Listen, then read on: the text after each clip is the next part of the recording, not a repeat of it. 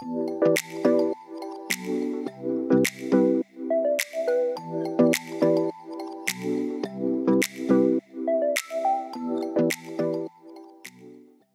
name is Dan Whelan, Senior Reporter for Place Northwest, and it is my pleasure to be here today to chair this roundtable.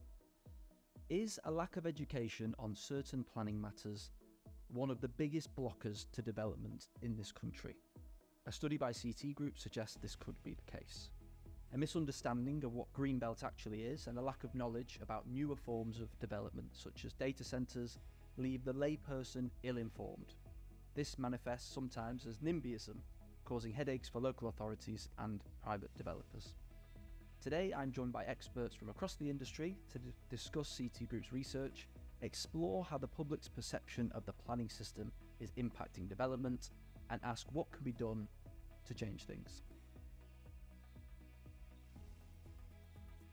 Uh, for me, I found a lesson in how bad we have been doing public consultation uh, and clearly been not pursuing the right channels of getting to uh, the public that would uh, hopefully be supportive of our schemes. Uh, I would say, if anything, uh, we're, we're off pace in the types of approaches we've made. I think the key takeaway from me is actually flipping that question about lack of education around and are we as an industry expecting too much of general public?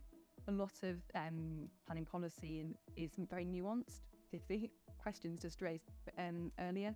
So the expectations that we have from the public, I think really, really need to understand how informed they could be and what questions we need to be answer- asking them to get the most out of consultation engagement. I was thinking about the ability for people to engage, not just as part of a planning application, a part of that process, but also in plan making. And I think that's often forgotten in terms of a real opportunity for people to make a meaningful change um, in the places that they live. And it's say not just not just talking about trying to raise engagement to particular planning applications, but say you know local plans, strategic regeneration frameworks, etc. So you're always going to get um, more people opposed to the scheme when you make the decision at that level, because the people that are in that locale where the decision is being made are the one is are the ones where the, the, the harms are most concentrated Mm. and, and, and most obvious. To get that support on a wider basis, you need to look wider, and you need to look in a more diffuse way. When you ask people who are generally in favour of development, would they go to something like that? They said no. They're far too busy raising families, doing other things. They don't generally attend traditional consultation exercises that most developers do. The way you have to reach them is through Facebook, through YouTube, and different means to draw their attention to your scheme and get their support. You have to make life easier for them because they're not going to go their way to go down and go in a small hole somewhere and look at how how the development. So to reach supporters, you have to use new technology and you have to use their language and things they use to get their information.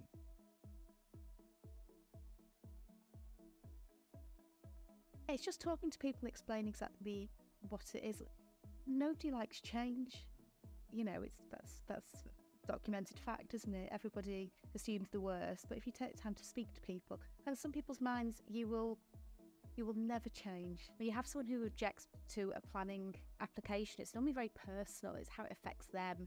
Um, they might see the benefits of uh, employment, but if it means lorries trundling past their front window, then they're going to oppose it, even though they can see the benefits of employment. The population as a whole don't identify any political party as a party of house builders currently. However, there is the support for it. So there is the option here for political, uh, po- you know, parties to to take uh, a leap into the somewhat unknown, which is to be pro house building, pro development. But they have to be careful, and they need to show how it will closely align with the aspirations of the voter as well. It's not just about creating houses; it's about how does it help that community. But it seems to be human nature that if someone supports or might want to support something, they don't bother. If they're against it, they'll always bother. It's how do you engage with those people who might support you? And I'm not sure, well, I'm not sure I've got the answer to that. But how do you physically drag people out to to sign a petition to say they support something? And I think that's something that as a, an industry we need to look harder at I've worked CT Group for over four years now, and we've dealt with a multitude of different schemes.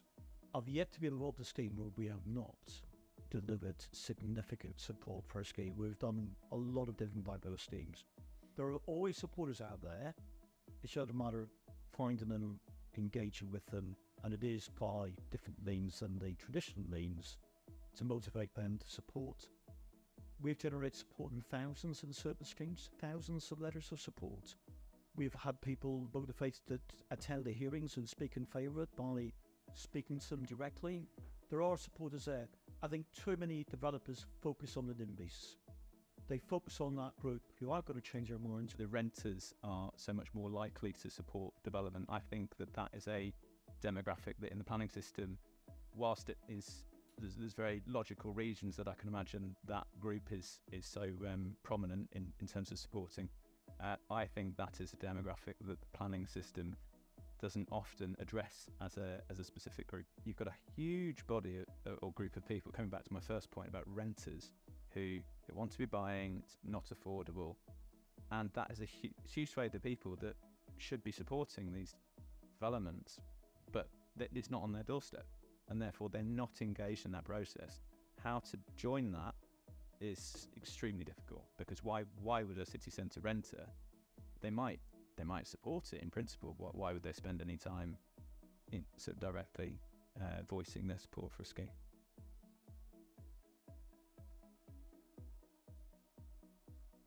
Think we should start with acknowledging that Greenbelt is a necessary evil. I think that's the job of government to explain what the Greenbelt does and where it affects people. It, it's regional. Um, we've got Greenbelt throughout the metropolitan areas, and it it's been there to keep that coalescence at bay. So light up the airwaves and tell people. I think the interesting about Greenbelt is that it's often used as a bit of a political football. I think in terms of change overall, and you know potential that someone's looking out of their window and their nice green fields suddenly going to be built on, even if it's not within the Greenbelt. So I think it goes back to that kind of understanding point and kind of overall kind of general education. I think it's absolutely essential that we have a rebranding. It's just, it's now become over the last well, 70 years now, it's just become green. Therefore, it's a green field and it applies to all green land. Needs to be rebranded as something like settlement buffer and protection zone because that's what it is. I think it's important to remember where Greenbelt policy came from.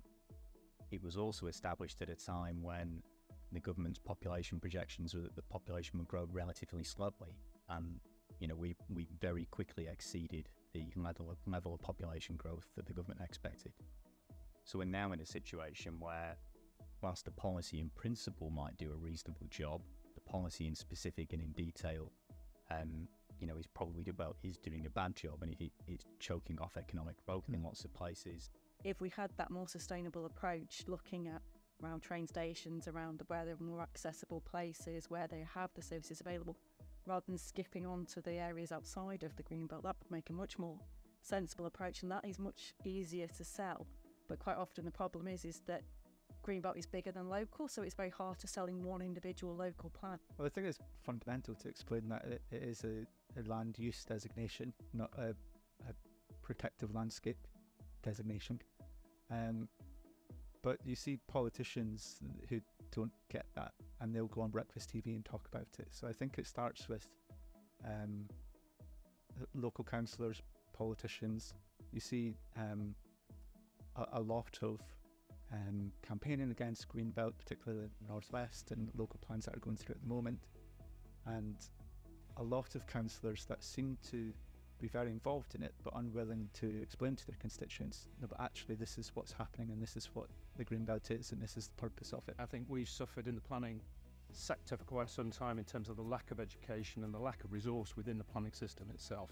And that's something that the government needs to address. And it's been long in the digestion, and it's something that we really do need to get to grips with. I think rebranding is absolutely right and re educating actually what the green belt is about.